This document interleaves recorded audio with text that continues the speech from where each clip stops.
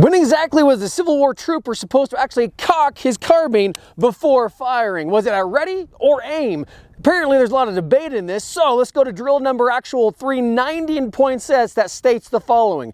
At the command ready, let fall the carbine in the left hand, the muzzle elevated and directed to the left, place the thumb on the head of the cock, the first finger upon the guard, the others behind it, cock the carbine with the right thumb and return to advance carbine. So there it is on the order of ready that troopers were to cock their carbines, not at the order of aim.